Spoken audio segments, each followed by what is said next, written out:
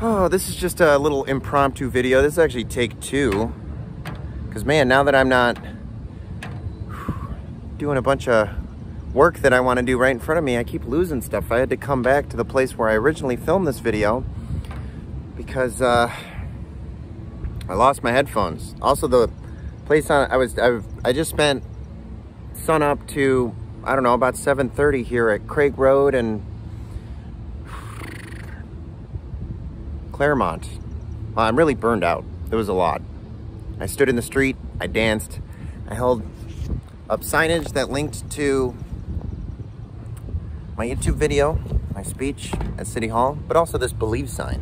The believe sign was the fun part because I wanted people to just look at me. I just wanted them to wave and say hello. That's all I did is I danced, I made a big fool of myself, and I waved at people and I looked them in the eye. And I don't know what happened recently where I'm thinking so clearly and I'm able to look people in the eye, but it's damn near a superpower. It's not quite ESP, but when you really look at somebody and you ask them simple questions from the heart, you kind of see the truth really quickly. You know what I mean? It's uh, when you're in the store and you see some kind of ugliness and you just know. You understand what you're seeing, you know what I mean? Sometimes you can judge a book by its cover. Not all the time. Most things are not all the time or none of the time. That's one thing I've learned. But yeah, the main point of this video is two parts. One, I want to say that based on this experience, A, well, everybody has dash cams now, so maybe I'm about to get a lot of attention. Finally, it's kind of what I've been trying to do based on the City Hall speech for a particular issue. But more importantly, now that I'm able to look at people properly, there's a lot of very miserable people.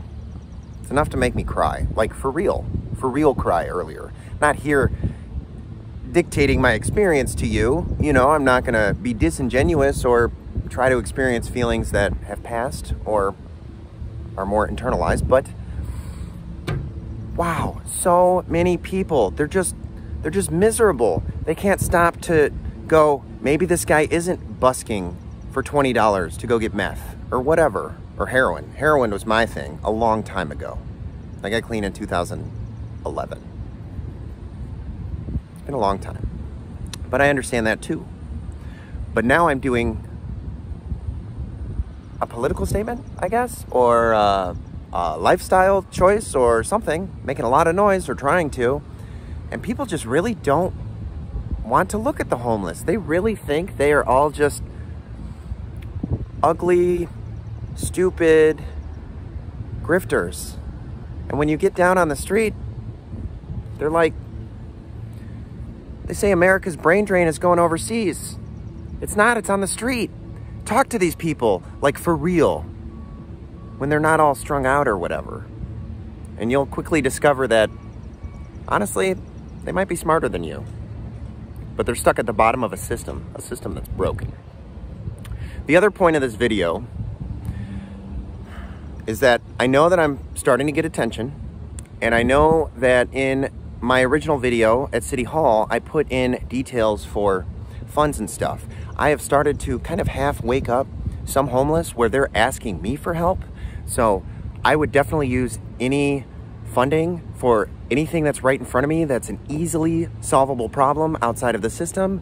But also me personally, I don't know, something about trying to write this living story or whatever it is that I'm doing, um, you know, I lose stuff. Things been stolen.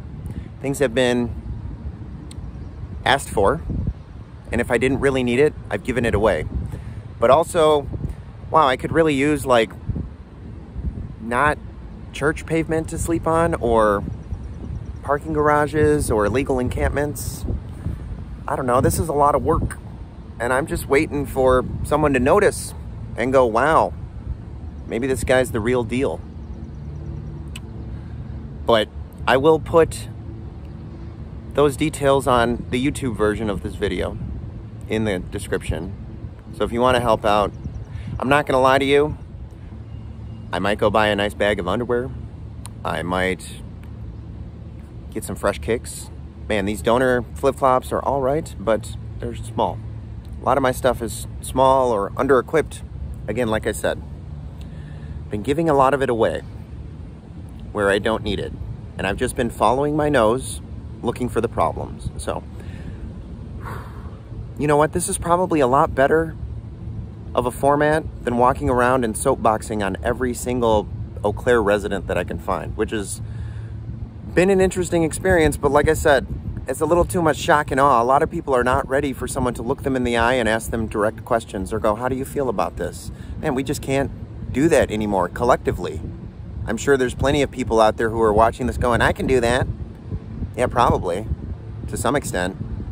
But for most of you, when you're faced with something that you're not ready for or don't understand or don't want to process or isn't in your corner, doesn't fall under your group or label, you just don't look. And that's not living. Living is other people, not just your people. It's all the people.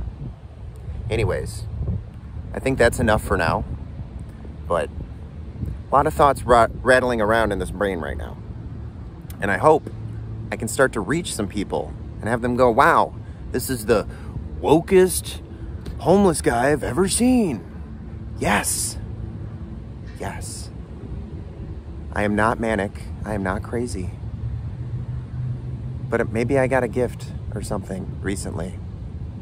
And now I'm trying to use it to eat the biggest elephant in the room, which is maybe something that I've always tried to do. And now that I'm just open to expressing and experiencing that, that's what I'm trying to do.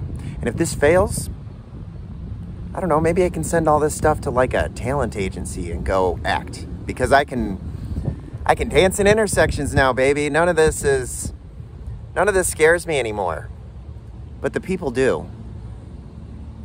I thank you for watching. If this is on X, you know, share it, maybe, or share the City Hall video. That one's even better. Uh, if this is on YouTube, again, details in the description if you want to actually help.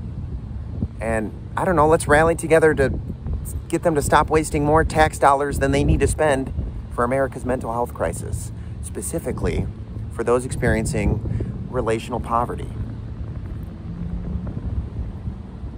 Like, comment, subscribe. Really, you're telling other people you like the video. You're leaving your feedback, which I will read. And you're saying, I want to hear more from this guy. If you do those three things, I greatly appreciate it. It's the point.